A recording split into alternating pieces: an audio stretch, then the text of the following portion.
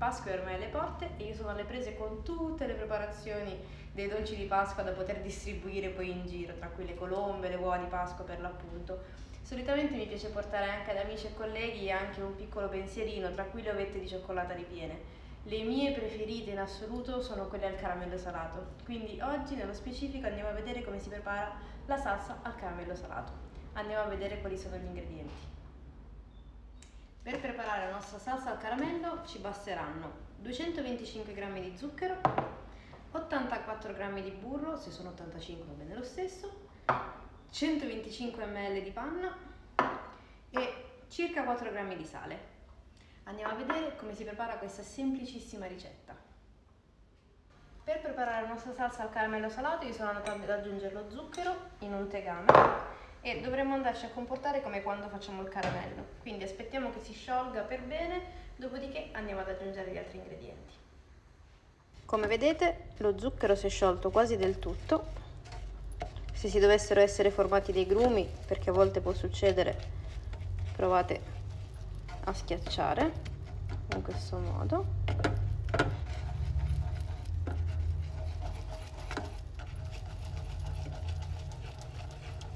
così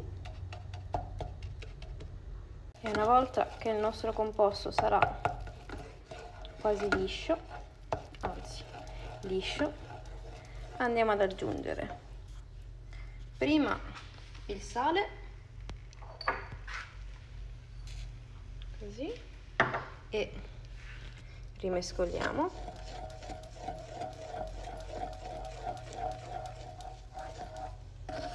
questo modo. E il burro.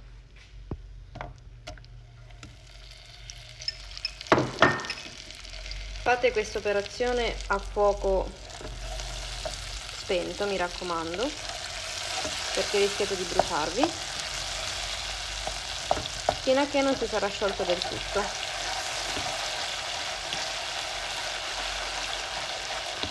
guardate già come si sta formando.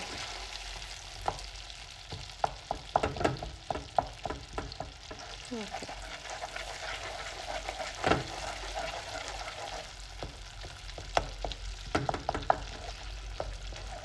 non dovrebbe metterci molto perché comunque il caramello è molto molto caldo.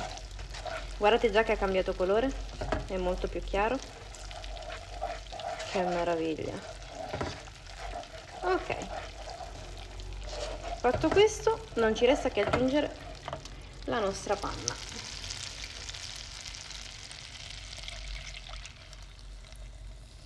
Ok.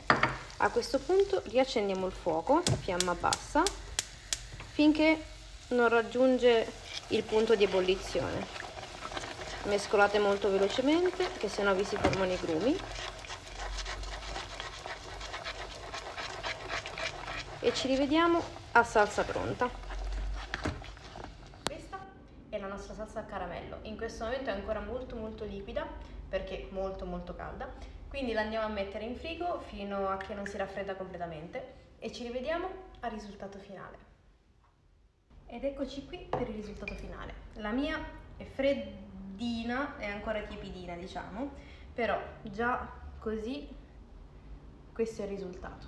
Ovviamente se la fate raffreddare di più diventerà ancora più consistente.